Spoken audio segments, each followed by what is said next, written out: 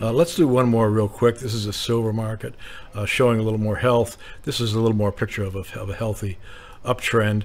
Normal normal uh, uh, PL dot refresh uh, move coming off of the weekly 5-2, coming off of the monthly further out, coming off of the quarterly envelope top, um, and coming in with strong support under it at the quarterly and uh, yearly um, PL dot.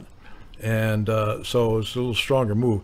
Now, what do we expect in the next days? Well, look at what uh, this refresh is coming down at the moment.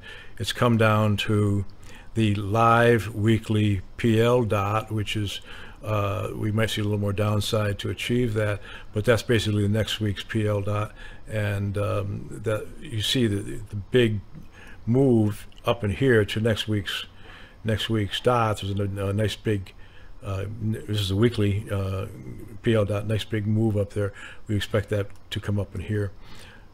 So um, uh, I think that this is a normal retracement um, uh, with the confusing inflation uh, report where we had the, the, CPI, which is kind of digested in the market already, and the interest rate, uh, which was kind of baked in the cake, not a surprise to anybody.